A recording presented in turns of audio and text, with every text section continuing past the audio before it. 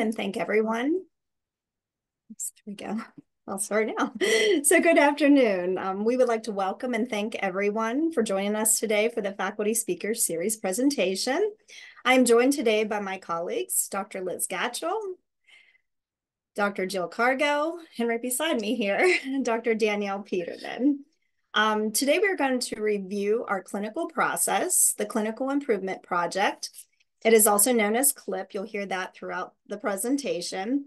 And we've implemented this clinical process over the last several years here at the Altoona campus. Um, as we go through this presentation, you will see that the underlying goal of this whole clinical process is to promote and strengthen clinical reasoning among our nursing students.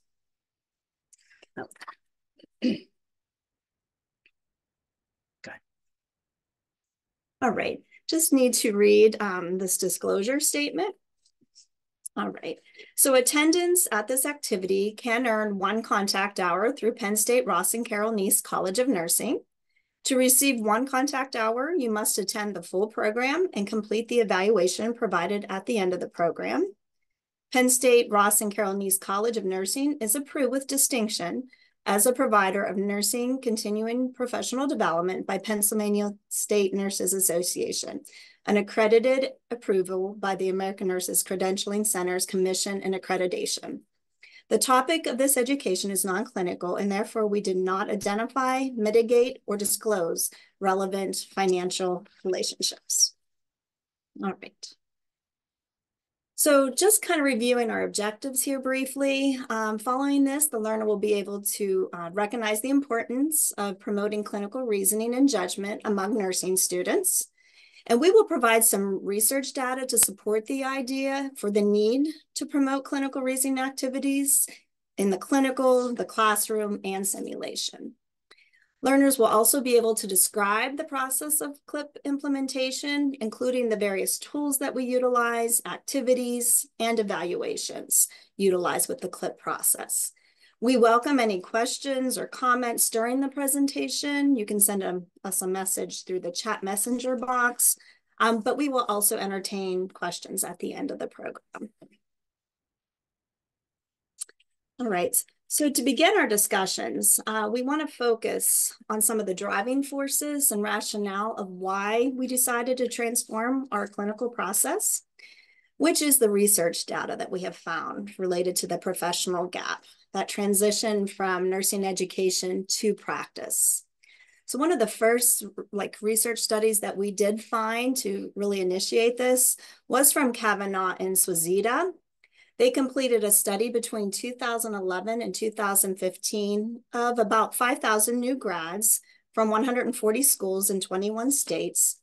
And they found, as you can see here, only 24% of new RN graduates met entry level expectations uh, for clinical judgment. So when, you know, the National Council looks at those entry, level characteristics, Usually it's, you know, includes, but not limited to some limited confidence, critical thinking, and, you know, clinical judgment, and delivery of client care in an efficient manner. Now, Kavanagh and Sharpnack repeated the above study that we just talked about, very similar study with 5,000 um, new grad participants. And in this latest data collection between 2016 and 2020, they found that only 14% of new grad RNs actually demonstrated entry-level competency. And then the most recent data from Kavanagh and Sharpnack, they completed some data in 2020 that indicates only 9% of new graduates actually meet the competency range for a novice nurse. So this data pattern does suggest we are continuing to lose ground in preparedness of new graduate RNs at a time when it is needed the most. And one of the biggest recommendations of the research to reduce the educational gap was that academia and practice must work together as a system to really support um, student success. So with NextGen on the horizon at the time and data indicating this professional gap, faculty here at Altoona, Penn State Altoona, did decide to develop a committee to improve the clinical process. And that committee is called the CLIP Committee, which still does exist. And it was formed in spring of 2017. So the purpose was to transform clinical nursing education by promoting clinical reasoning and judgment, like we've talked about, but also in real time while reducing the burden of the written assignments outside of clinical. So in developing this process, we did move from more of a traditional clinical process, which involved usually pre, you know, during clinical and post-clinical work, both on the student's part and faculty part, to more of a process which focused on real time, you know, completing think activities, clinical reasoning activities during the clinical time and providing immediate feedback. Now, at the time when we developed um, like this committee, we realized that this transformation would not only assist the nursing students in building a foundation for their nursing careers and practice, but would also help prepare them for the NCLEX next gen at that particular time. So you know, now we're just going to start to get into the clinical, um, the, CLIP development and implementation. So this is just kind of an outline. We'll get into more detail of the different tools that we have used. But again, as I mentioned, the CLIP committee began in 2017 with implementation in 2018. Um, tools were developed, um, evaluation tools, um, the various CLIP tools and processes to help guide with the main purpose in mind of improving clinical reasoning and judgment. To promote consistency, there are identified instructions for both faculty and students in each of the tools.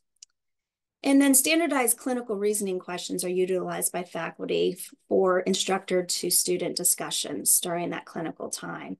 So you will see that, um, and we'll talk about it later here, that the weekly instructor clinical performance guide and notes evaluation tool really promote, has all of the different questions um, that are standardized for faculty to use to, you know, um, during clinical to ask students.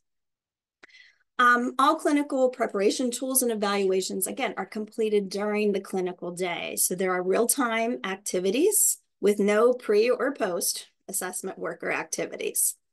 So for example, when students complete their concept map or clinical, like client plan of care, which we're gonna be discussing shortly, they will um, complete portions of that concept map throughout the clinical day and then discuss it with their, with their instructors towards the end of the day. And it's kind of nice, I know for myself and a lot of others, we will pull up the patient's EHR and we'll go over those discussion questions and then they can make connections, you know, with the information. Um, students, again, receive immediate faculty feedback. So, you know, in the traditional process, oftentimes, you know, we would spend hours checking that paperwork um, on the weekends. And oftentimes they would not even get that feedback for at least a week. And oftentimes there was a disconnect, you know, trying to remember their patient and what they had completed. But they get immediate feedback with this particular process in real time. And the other thing is the objectives from the Ross and Carol Nese College of Nursing clinical evalu evaluation tools are aligned with the clinical tools and activities. And you will see that in the upcoming slides. We'll show you an example of that. Okay, so I'm going to discuss a little bit about um, some of the tools that we use in the clinical setting with students. Um, before I get into that, though, um, a couple things. As we were developing this committee um, on our campus, we felt that it was incredibly important that all faculty were on board with this uh, for consistency among not only us, but certainly with students. So they understood what their expectations were and it was being carried throughout all the courses. Um, there is a course co coordinator process that we had developed um, in which the course coordinator meets with all the clinical faculty at the beginning of the course um, to relay clinical expectations and, and ensure um, that the objectives for the course are very clear. In addition, the course coordinator has um, the role of deciding which, which tools are used in which course and how they are actually implemented throughout that course. Um, and I'll explain a little bit more about that as we go. Um, all documentation and template templates and the communications are all within a Canvas master course. So all faculty on campus has access or within the nursing department has access to these tools and can use those for their particular course. And some of those templates, um, overall, they are really like I said, used consistently throughout courses, but some of them get adjusted very slightly depending on a specialty. You know, for OB, for example, that may have needed to be adjusted ever so slightly just because of the objectives looking a little bit different in that course. Um, the CLIP process was also communicated to healthcare facilities. We felt that was very important as well, that our um, healthcare partners knew that we were going to be uh, changing how we did clinical a little bit. Um, I we were kind of feeling like um, when we would go in, you know, they were they were asking us to do a lot of skills, and certainly skills are important. But really, what CLIP was about was focusing on that clinical judgment, and that was how we were going to be approaching clinical. Um, so skills, yes, but really clinical judgment. So it was important to us that the facilities knew that we were going to change those processes a little bit. And then finally, um, we decided that it was important that we were going to be explaining really to students what clinical judgment was. So um, we adopted the uh, Linda Caputi Think Like a Nurse text, and we teach clinical judgment and reasoning and what that really means and the importance of clinical judgment and reasoning in nursing to all students coming into 250. So the G nurse students get it in their first semester, as do our second degree students. So um, this is an example. It's just a, a, little snippet. It's not the entire report sheet guide, but this is our report sheet guide and our preclinical questions. Um, the report sheet guide is required for students at the 200 level. As students move through the program, um, get to the three and 400 level, uh, if they are able to, you know, just answer these or know that this stuff in their head. They don't have to actually fill out this form um, and, and turn it into us. But this gives the 200 level students, as they're just entering clinical, an idea of really what information do they need to gather from the EHR. Um, and then the preclinical questions, and you can see those four preclinical questions at the bottom. We ask every student those four preclinical questions before they go in and take care of their patient. And really what this is assessing is, are they safe? Are they safe to go in and take care of that patient? Um, you know, initially. And then, of course, throughout the day, we continue to guide them through questioning and so forth. Um, but these four questions we use consistently in all of our courses. This is um, the concept map that we use. Christine mentioned about the concept map. Um, it looks wordy on here and there is a lot on here. Um, the concept map as well, um, as we as we move students through the program, if they can verbalize this information to us in later courses, they don't have to fill this out and hand it in. Um, as Christine mentioned, we do we're doing all of this in real time. So those discussions that we have with students and their verbalization of this information, um, you know, that's what they'll do when they get out into the real world as a nurse. We want them to be able to learn how to do that without necessarily writing it down and us then hand correcting it. So, um, but as they start, they they certainly need this tool, um, and then you know, moving forward, they don't necessarily need it. Another thing about the concept map is that it's not done every week. Um, so it's a lot to discuss these concept maps with students um, to have eight or nine students and try to go through concept maps um, it, it, takes a lot of time. Um, so they don't necessarily do this every week. If they can do one for us satisfactory or two um, then you know we're happy with that. Uh, and again this is up to the course coordinator to decide how they lay this out you know if they're going to have one of these do a, a, semester or a course or if to have two of them and and when the student will do them that's all up to the course coordinator In addition to the report sheet guide and the concept map, we have some additional activities also that we do with students or have students do. Um, the faculty all felt very strongly about continuing to have students write a head to toe nurse's note. Um, yes, EHRs are certainly, you know, out there probably in the majority of clinical settings, but we felt that um, having them write the nurse's note was just really important so they could really put together and, and paint a clear picture of what that patient looked like, um, as well as document it in a head to toe format. So they may do a nurse's note once or twice, or maybe more than that a semester. And again, that's up to the course coordinator. Um, they also will certainly do focused assessments, and we often have them do a head to toe assessment that is in, uh, instructor observed. So the instructor actually goes in with the student and watches them do a head to toe assessment and then um, has a discussion with the student about how they felt it went um, and gave them, you know, gives them some, some guidance on how they could maybe make improvements next time they do that head to toe assessment. And then in addition, as I said, we adopted the Caputi uh, Think Like a Nurse um, textbook. Uh, there's think activities that we have students do. And um, they do different ones throughout different courses. Those activities range from entry level up to more advanced for um, higher level students. So they'll usually do a think activity, maybe two um, a semester to, to um, just change their thinking and really get them thinking a little more critically um, an example of one of those activities is compare and contrast. So they may be assigned um, to do a compare and contrast activity on two patients with congestive heart failure. And then they would have to decide what's the same, what's different, and not only the same and different, but why things look similar and why they look different among those two patients. And then in post-conference, we still do a, a typical post-conference, um, and that can include various activities. They might be sharing their clinical day, what they did, what they learned. They may be sharing their concept map. They may be sharing their clinical think activities. Um, sometimes we have them actually do a handoff report where they do an SBAR report and hand off to their peers or to us um, to, to learn how to give shift report. So, and, and there's other things that we do in post-conference. That's not all inclusive, but those were some of the big ones that we do with students.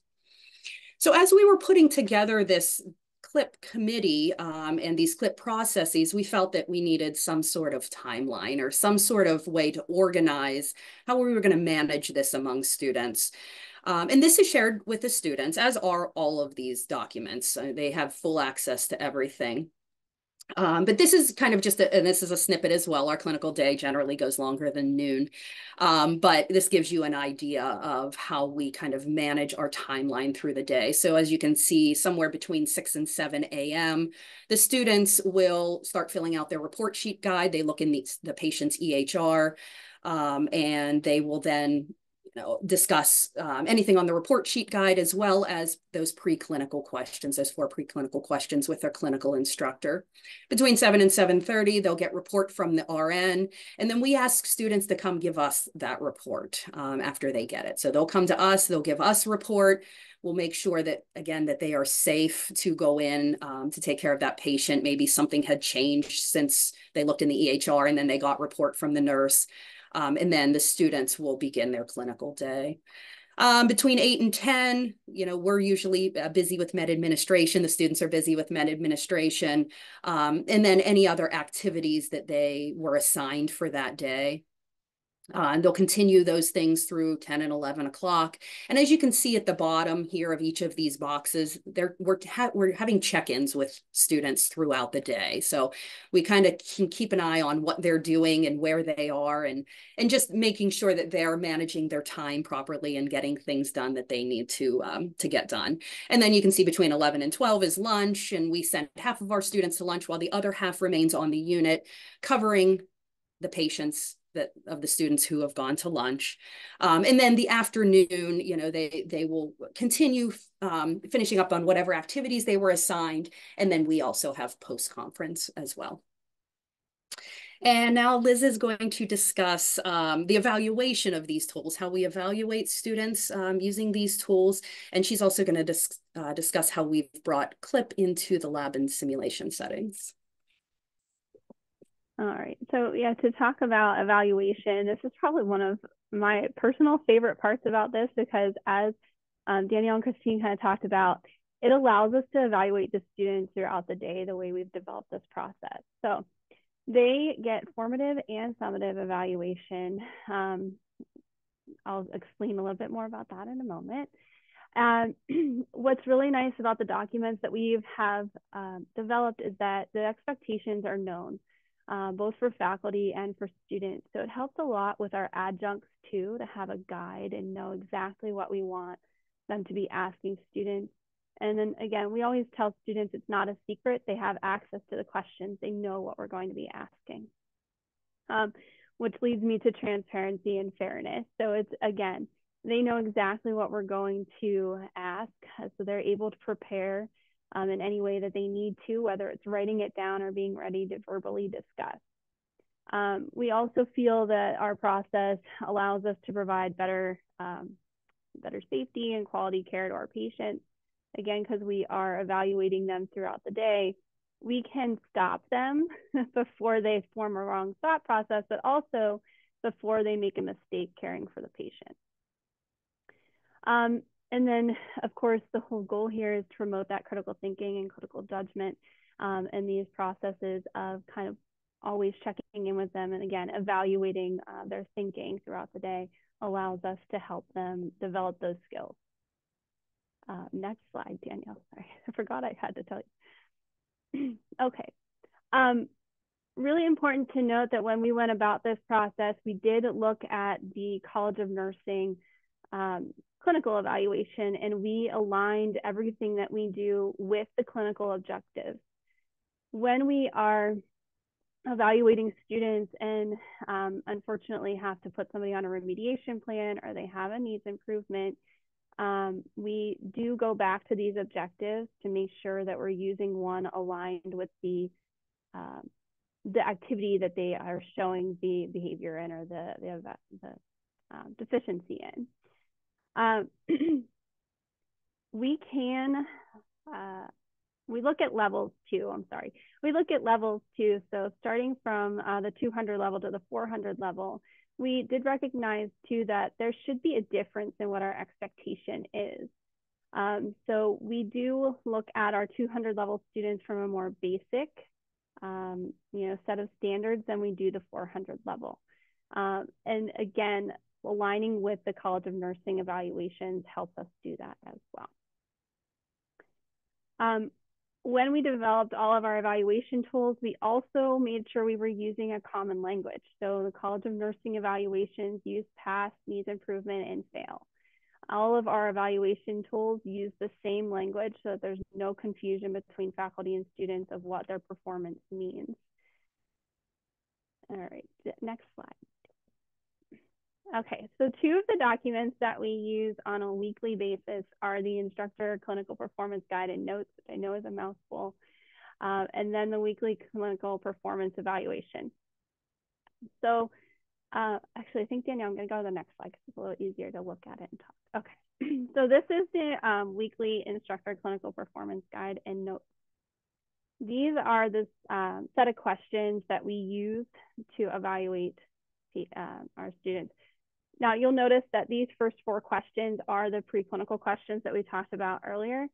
Um, this document in its full uh, length, it ends up being about six to eight pages, uh, but it has the questions listed out exactly as seen here. Um, some of us have developed little shorter versions of this as we get used to it. We don't need the full question um, to answer it. And we have kind of like a note taking page that makes it more manageable on the clinical unit. Um,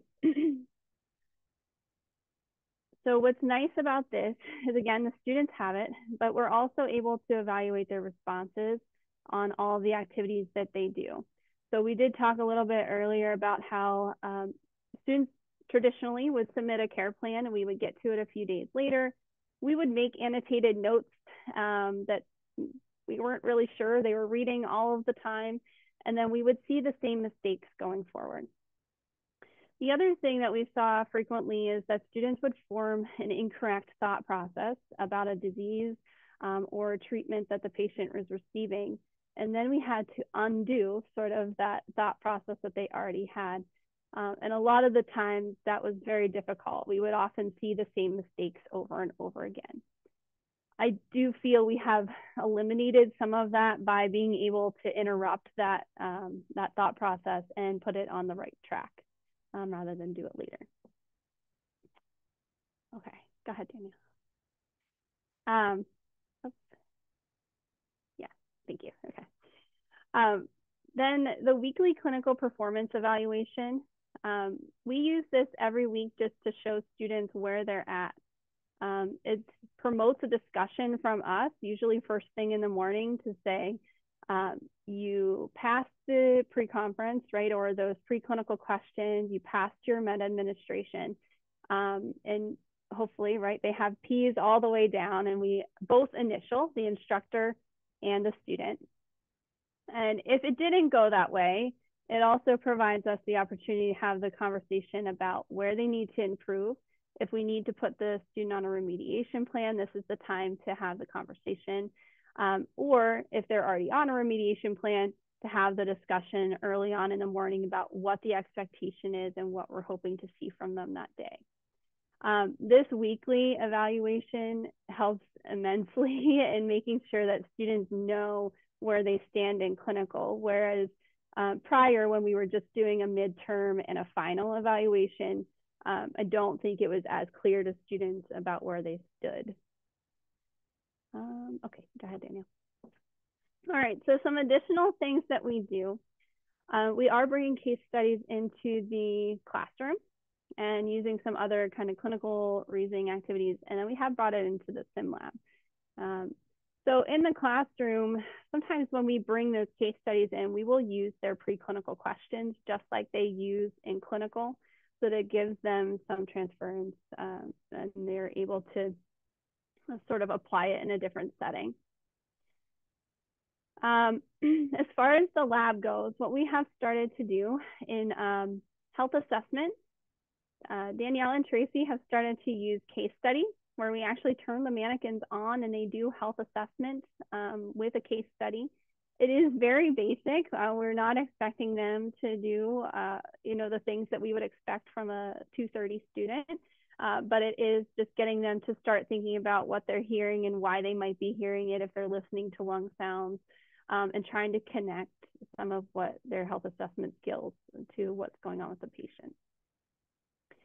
Um, we use the preclinical questions before we start simulation. So we do have the students um, get into the EHRs and learn about the patients, and then we ask them the preclinical questions just like we do in actual clinical before they go into the sim. It prepares them uh, to start thinking about the disease process.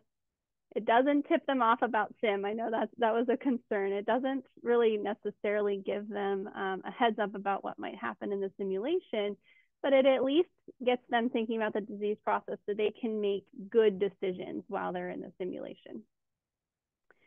Um, some faculty have also started to have them complete concept maps, just a general concept map on the patient too prior to coming to clinical. So they already have an idea, again, what the treatments are, what they should be looking for.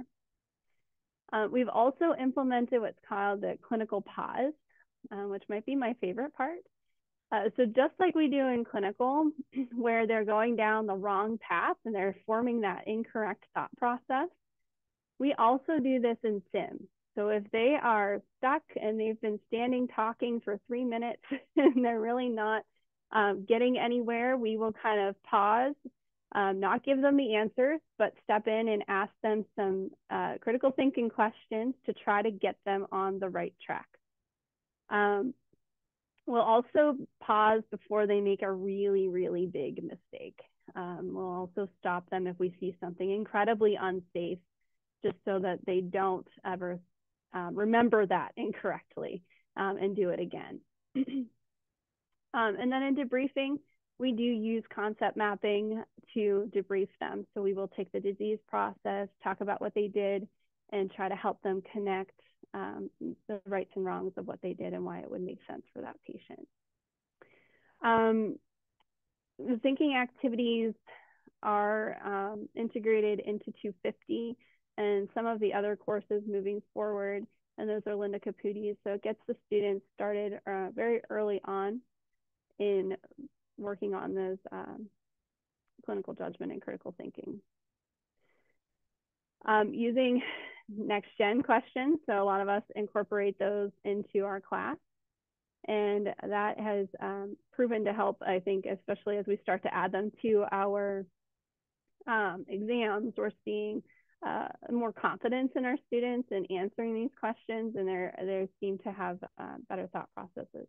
And then virtual reality is is newer, um, but we are um, definitely working on clinical reasoning and clinical judgment when we use virtual reality. Um, they are the only one in the scenario, so very much like when we were doing um, the vSIMs and things like that online they were they're the ones making the decision. Um, the only thing different about VR is that they are immersed in it. It feels like they are actually in the room with the patient making the decision. So it is a little more of an intense experience. Um, okay, that's it. Jill. Okay, and to and we're going to talk a little bit about our future activities that we are um, incorporating with CLIP. And as Christine said in the beginning, um, we continue to have a CLIP committee. We continue to meet um, because we want to make sure that what we're doing is still current with what the National Council State Board of Nursing, NextGen, NCLEX, to make sure that we're providing our students with the best clinical reasoning experience that we can we can give them. So um, a couple things that we are doing is we are looking at Socratic questioning um, that aligns with the National Council State Board of Nursing Clinical Judgment Measurement Model. Um, we are also reviewing that with um, ATI, Socratic questioning, which I did um, already go. And the next couple slides, I'll show you exactly what I mean by that. Um, the other thing that we are hoping to do and are working on is that we want to make our documents electronic. Right now, they are all paper pencil, um, which is a little old fashioned when we're trying to get with the times here with everything else we're doing. So we are looking at how, um, and we're trying to implement this so that it is an electronic version of it. Okay, next slide, Danielle. So um, I'm sure everybody has seen this by now. Um, the top line there are the six functions of clinical judgment that are from the National Council State Board of Nursing, and those are um, designed to um, allow students to arrive at competency with clinical judgment. Um, the bottom row is the nursing process, which we have been teaching um, forever, um, but they actually align very nicely. Um, if you look at the recognizing cues, that's very much our assessment piece of the nursing process. So um, when I get to the next couple slides, you're going to see what questions we ask about recognizing cues. analyzing cues, what does it mean? Okay, that's very much our analysis phase, which long time ago was diagnosing phase. So all these terms are changing, but we're keeping up with the current times. Um, prioritize hypotheses and um, generate solutions kind of go with our planning phase. Um, then we have take action, which is our implementation. What will we do? And then the final is our evaluate outcomes, which is the evaluation slide. Um, and what we found, and I'm going to go to the next slide, Danielle, but what we found is we were actually very happy whenever we were looking at this because a lot of these questions we've already been doing. So when we developed this process and then we saw ATI came out with the Socratic questioning, which is up right now, we ask our students a lot of those questions that are already promoting their um, clinical judgment and reasoning. So uh, we were very happy to see see that we were on the right track with what we have been been doing, and it couldn't have been more perfect timing with um, the upcoming next gen NCLEX, which is in full force now. So um, we were we were pleased with those results. But when you look at these questions, okay, um, a lot of these are already, if you saw the full model, if you saw all the questions that we ask our students, you would see that a lot of these questions on here are the ones that are incorporated with our weekly guide and notes. And um, like Danielle and Christine said too, and Liz, is our adjuncts really like this too because it gives them a guide. And what our what our goal is that we're all doing the same thing and all of our students are getting the same experience. Now we know we can't clone each other and they're going to have different experiences by different units and what their goals and focuses are but it really does um, make sure that we are focusing on clinical reasoning and judgment with our students. So just for example, our recognizing cues, um, what is your priority assessment finding? Um, why did you identify that data as relevant? Um, what are the trends in clients' vital signs? So we have them look at their vital signs. Are there any changes from what they and what do those trends mean? Um, we ask them analyzing cues, um, and we are looking at what we're doing right now too is we're incorporating, we're making sure that what we have on here in this ATI process is what we are truly asking our students. And a lot of it is the same. So um, that is part of our future, though planning is to make sure that this is correctly implemented. So you can see down through there analyzing cues, asking different questions, prioritize hypotheses. What is the greatest risk to the client today? We have generating solutions. Okay, what nursing interventions are indicated? And we've always taught them to think like assess, do, and teach. What are you assessing on your patient? What are you doing for your patient? And what do you need to teach? So um, we are working to continue to make sure that we are supporting what the Socratic questionings that there are available to them. Same with taking actions and evaluating outcomes. You can go to the next slide. So in summary, um, the CLIP process is intended to improve students' clinical reasoning and reduce the educa education to practice gap, which we saw only 9% of our students, according to the latest research, are meeting entry level expectations. So um, like we said before, that's something that that is not the um, new employer's responsibility. That leans itself back to education a lot too. So we need to work together and find a way to better prepare and make sure that our students and future nurses are ready to practice. Um, the other thing that we do is we have collected some data with our senior level nursing students we sent out a Qualtrics survey in their senior year to evaluate the process and how it helped their clinical reasoning. Um, in the very beginning, when the students completed the traditional model um, with the pre-assessing the night before, doing all the paperwork, that feedback, we had a little comparison of um, what they thought of that. And it, the process has been very, very positive. Um, they, they like the immediate feedback. They like going over the EHR with the faculty member right there, giving them guidance as to where they go. So we continue to um, incorporate a survey with our senior level nursing students and hope to prepare and have the best tools that we can to prepare their clinical reasoning and judgment. So what we want to do now is I'm sure everybody is doing something to promote clinical reasoning and judgment. So we want to know um, what are you currently using? What do you do for your clinicals to promote clinical reasoning and judgment? And is there anything um, that we talked about today or anything that you think that you could use to modify or incorporate or further incorporate to build on that clinical reasoning and judgment experience?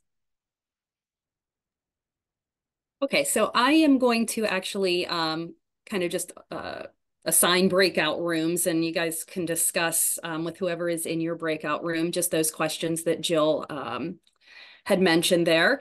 Um, and then we'll bring everybody back for uh, discussion. And if anybody is um, willing to share maybe what they use and if there's anything that they might be able to modify to incorporate, further incorporate cl clinical reasoning and judgment, we'd love to hear that.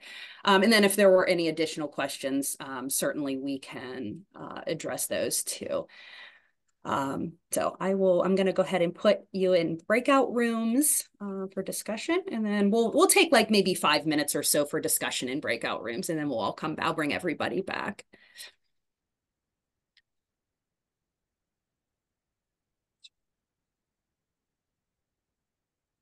Okay. All right. You should be getting um, invitations to, to go into your rooms.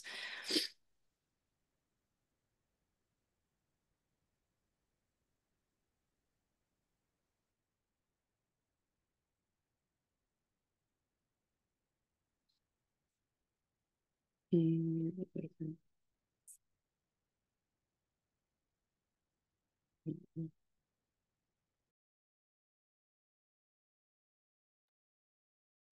Kenny, are we going? Are you? Um. Yeah, we can. Here? We can if you. yeah, that's what we were just looking at.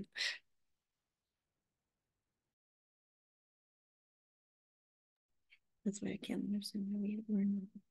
Mm, maybe because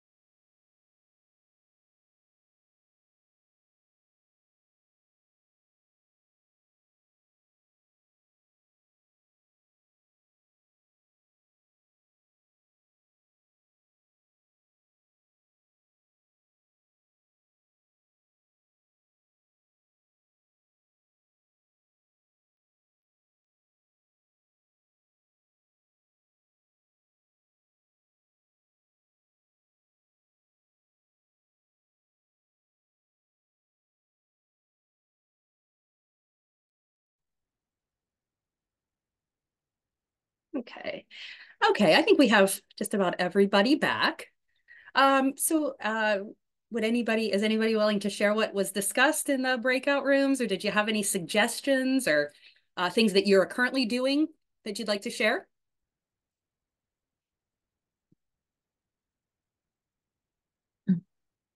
Uh, for this is Jen Kashadi. Hi, everybody. Um, we our group we had a really really good discussion on what um, some of the other uh, campuses use. Um, I thought it was really really helpful uh, with some of them, especially when you're limited on um, a post conference, especially um, in the clinical that I set. That I have a lot of times we're so busy towards um, the time for post conference. So there was a couple like alternative ideas that they could actually do um, after clinical uh, to kind of respond to that clinical judgment if there wasn't enough time. So that was really helpful. Great, thank you. Anyone else? I'm curious what um, Becky's clinical judgment cards are from the chat. I wasn't in her breakout room, not to put you on the spot, but I am very curious.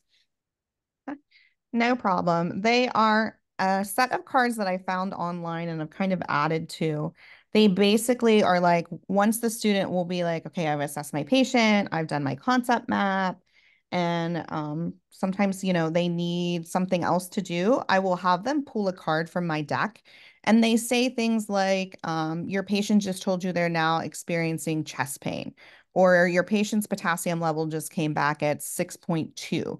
And so they have to, even though they've already kind of developed their plan for the day, they have to think about how does that change their plan? Because we know that at any time our patient can decompensate and things can change, or we found something that we weren't initially looking for. So it makes them kind of think outside of what they just planned and also making them kind of have that adaptability to if something changes, these priorities are going to change. That's great. Thank you. Any others? I have a question, Danielle, but I don't know if we're Sure. going, is there's a part for that? That's okay. You can go ahead, Mike. So I guess it'll go to Jill. I'm not positive though. So do you require this book in two fifty and then they keep the, I think it's yes, and then they keep this book throughout their whole entire time, the Right. Caputi book in the curriculum? That's correct, right? Right, Yeah, Danielle that's and I correct. both put it on our required text for two fifty, um, so that way they can access these documents or use or use the activities the whole way throughout the program. And we tell them they need to buy it so that they have it for every course upcoming. But they only buy, and are you using an ebook to get with the times? Or are you still using the, if there is even one, are you using the hard copy book? We're, we're still using the hard copy. I don't know if there even is an e-book for Caputi, to be Yeah. honest with you. Okay. Um, yeah, I, but we're still using the hard copy. And actually, we just let them write right in the hard copy. So they bring Yep. it with them to clinical or to class or, you know, to the lab, um, depending on what we're doing. And we just have them write right. And if I remember, it's reasonable. Like it's not super expensive, the book. It was, oh boy, the last I, I, I, was- uh, it, it wasn't terrible, 60-ish. It's, yeah, I was gonna say, it's, it's above fifty, but be definitely below hundred. I would say around sixty. I think that is very reasonable in today's world. Mm-hmm. Thank you guys. Great job and thanks for sharing this info. Thank you. Thank you. Any other questions? And I see Kelly in the chat had, are we going to ask the clinical leaders who hire our students if they see any improvement? And I think that would be very neat to do, um, except for we're gonna have employers all over the place. So, I mean, I guess that's definitely something we should probably look into. Yeah, that's what Christine and I were just talking about it as well. I, that's a great idea. I would like to Mhm. see what I would they. love to see that what they too, think. what they, if it makes a difference. Mhm. I just wanted to say, I don't know if you're gonna ask that, need to ask that specifically, or if you can just look at the, um, oh my goodness, I can't remember the name, the SIPR and the information that's collected by employers like six months and a year um, after the students graduate. Right. Yeah, that's a great point, Mary Alice. I didn't, Mhm. I didn't think about that, but yes, definitely.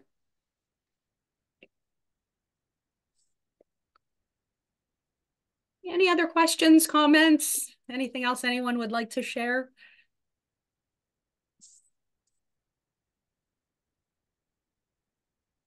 I'm just going to share our references um, for you. Um, and uh, just one other um, thing, we we have, I mean, anybody is welcome to use these documents. We're happy to give access or um, if you think of questions afterwards, we're happy to answer them. You're welcome to email any one of us. Um, and we can hopefully answer those questions or at least direct you direct you to to find the answer. Um, but the documents we have all, you know, anybody is willing or welcome to use those. So please just let us know. Kelly had one more question in the chat there, Danielle. Oh, sure. Uh, Kelly, we didn't collect any data as far as simulation. We kind of um, just carried this over as a clinical practice into simulation. So I don't know if we have anything specific to implementing CLIP and simulation um, as of right now. Uh, we get, uh, we do surveys for simulation, but um, I could probably try to compare pre uh, implementation to now and see if there's any differences, how reliable they would be. Mm. And I, I see Ray mentioned that employer feedback is very low. Um, so yeah, that's something else that we would have to consider as far as, you know, really how, how good that data might be if we are getting any data from, from employers, but. Yeah. And just to add on about the sim question, the students mm-hmm. only know this process for us. So it, it, I think helps to streamline the concept between sim and real clinical um, where it's all real clinical and it's not something new or different. Um, so that consistency um, throughout all that we do clinical related because sim is part of clinical makes a huge difference in that. And as we mentioned too, we're bringing it, we're even trying to bring sim into the, or sim clinical, I guess, more so into the classroom um, in, in doing cases and doing mini I don't even know if we could call them simulations, but just just bringing cases into the classroom and and trying to incorporate some of these think activities in the, this thinking process in the classroom as well to to really try to kind of blur the lines, I guess, between class and clinical. We want them to transfer that theory into the clinical setting and and them to recognize that these really aren't two distinct areas. They need to be using things in both, you know, those thought processes in both theory and in clinical. And they probably heard us say, what are your major concerns about this patient and what complications should we be looking for a million times from first level to the whole way, sophomores to seniors. Yeah. They become very familiar with it once they, once they, you know, are, are seniors. They just kind of already know how to answer. They don't, they don't even need to wait for us to ask. They know how to answer it. So. Yeah, and just having gone through like the traditional process and this CLIP process over the years, um, and based off of our faculty and students surveys, I know their perspectives, but both faculty and students definitely have seen changes, you know, and I think a lot has to do to not just promoting that clinical reasoning, but getting the real-time feedback. I think that really is really important. Yep. Any last questions or comments? Thank you, everybody for presenting. Thank you, everyone. Yeah.